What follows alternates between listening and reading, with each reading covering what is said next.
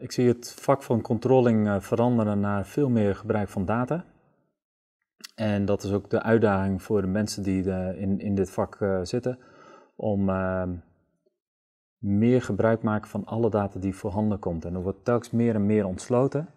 En dan moet je een andere manier van werken vinden om dat toch nog tot informatie om te vormen en voor betere besluitvorming.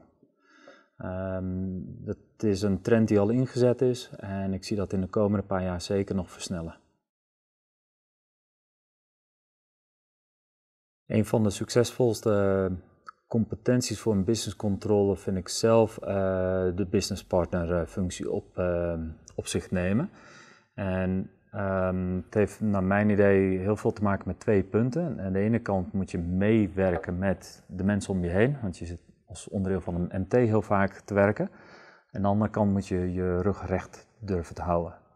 Um, nou, die twee botsen heel vaak. En dan moet je je punten pakken waarop je echt wil door, waar jij je punt mee wilt maken. Goede punt om te hebben als je een business controller bent, is uh, pak een aantal speerpunten en handel daarna. En blijf daar heel consequent in.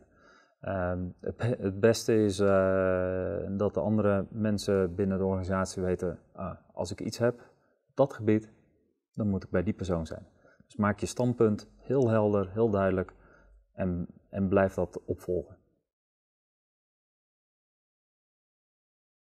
De techniek in uh, het vakgebied van business control uh, neemt de vlucht. Um, de eerste keer dat ik over RPA hoorde, uh, Robotic Process Automation, was twee jaar geleden en dat was een test.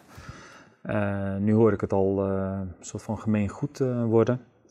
Niet alleen binnen finance, maar ook in de rest van de, van de organisatie. Um, artificial intelligence zit daaraan vast. Blockchain, um, dus dat nog meer datakrachten erachter. Je moet mee in deze verandering als business controller. Um, want anders, ja, anders word je een typische dinosaurus.